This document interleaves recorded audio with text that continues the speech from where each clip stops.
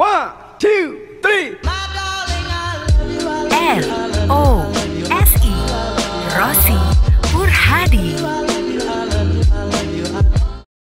Assalamualaikum warahmatullahi wabarakatuh. Hai, selamat sore teman Rosi Ketemu lagi di vlog saya kali ini. Ingin menceritakan tentang cara saya membuat AB mix sendiri Dengan murah tentunya. Nah, kita tahu kan yang namanya berhemat itu Menteri Keuangan dalam rumah tangga alias ibu-ibu pastinya suka ya dengan yang begini suka banget dengan yang namanya menghemat menghemat pengeluaran rumah tangga.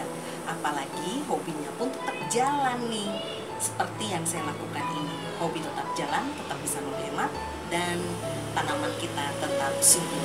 Yuk kita ikutin caranya Oke teman Rosi, ini dia bahan-bahan untuk membuat AB mix sendiri dengan harga yang murah meriah. Tapi tanaman kita tetap subur. Ini adalah hasil dari eksperimen atau pengalaman saya, kemudian dari info-info yang saya dapatkan.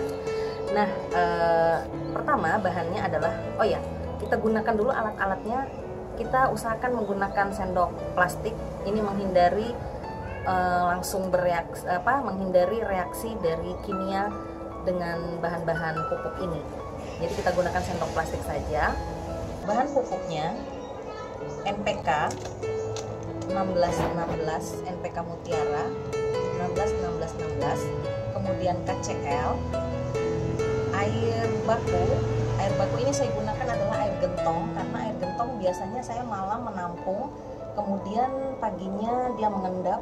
Jadi dari menurut informasi lebih baik kita menggunakan air dari endap yang sudah kita endapkan kemudian kita ukur masing-masing ya.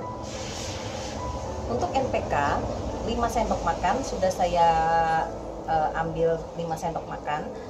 Kira-kira kalau untuk gramnya 80 gram. Kemudian KCL KCL sebanyak eh, dua setengah sendok makan. Atau kalau ditimbang saya timbang pakai timbangan digital seberat 50 gram. Ganda silde uh, sebanyak 5 sendok makan. Kayaknya sih uh, seberat 100 gram 100 gram ya. Tapi kita coba langsung uh, kita hitung saja sebanyak 5 sendok makan.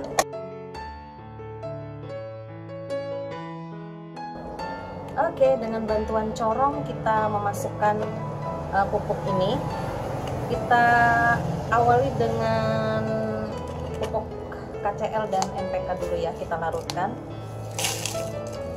Oh ya, sebelumnya saya sudah mengukur karena ini botol bekas ukuran 500 mili, eh, sorry 600 mili, jadi saya ukur kira-kira 500 mili, airnya nanti yang digunakan 500 mili, jadi sekitar ini nanti tingginya. Saya kasih tanda ya kemudian ini juga langsung kita campurkan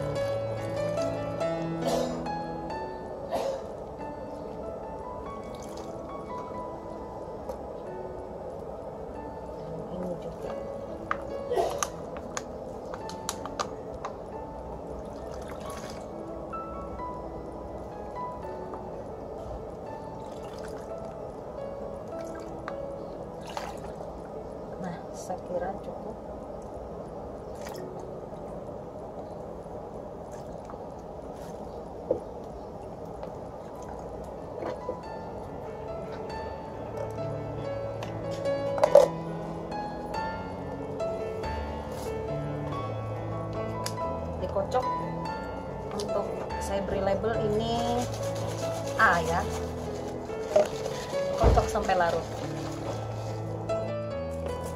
pakai ini gandasil kita larutkan berikutnya sambil menunggu KCL dan NPK nya larut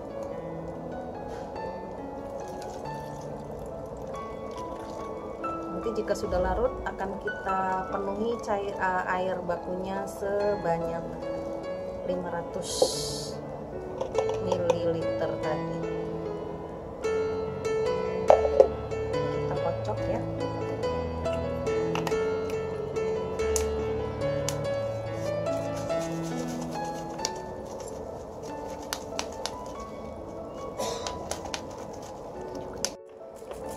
Oke, ini gandasil kita larutkan berikutnya sambil menunggu KCL dan NPK-nya larut.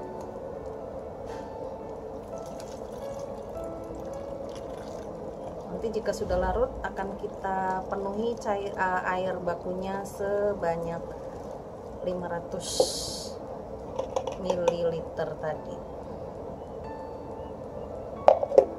Kita kocok ya.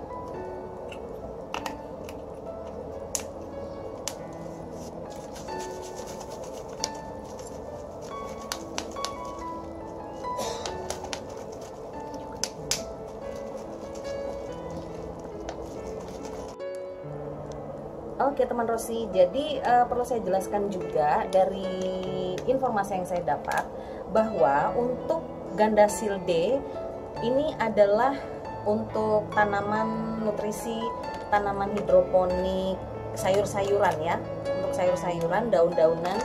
Nah kalau nanti untuk tanaman semacam lombok, tanaman buah, sayuran buah itu menggunakan gandasil D. Oke, ini sudah kita larutkan dan uh, sekiranya sudah larut ya.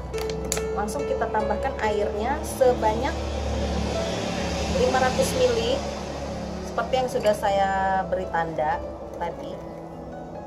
500 ml ini seperti ini ya.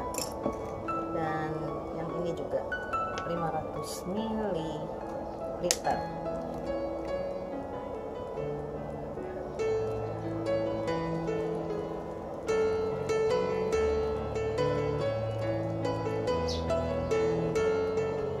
Untuk penggunaannya akan saya jelaskan. Untuk larutan yang siap pakainya ini cukup 500 ml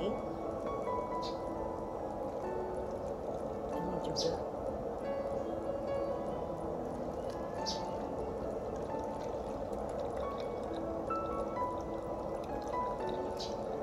Oke. Kita kocok kembali larutan siap pakai, nantinya akan saya coba menggunakan alat ukur TDS. Jadi nantikan vlog saya selanjutnya ya. Untuk membuat larutan siap pakai, dari larutan yang kita buat ini, larutan pekat yang kita buat, jadi untuk satu tutup botol ini sebesar 5 ml Nah, kita larutkan untuk satu liternya, satu liter air ini sebanyak 10 ml. Jadi artinya dua tutup botol ya untuk gandasil D-nya. Dan untuk uh, eh, AB Mix A yang saya sebut ini adalah A-nya. Ini sebanyak 4 tutup botol karena dia sebanyak 20 ml. Oke, cukup jelas ya, teman Rosi. Nah, itu dia tadi. Semoga apa yang saya sampaikan kali ini bermanfaat. Terima kasih untuk perhatiannya. Jangan lupa like, comment, and subscribe. Bye-bye. Wassalamualaikum warahmatullahi wabarakatuh.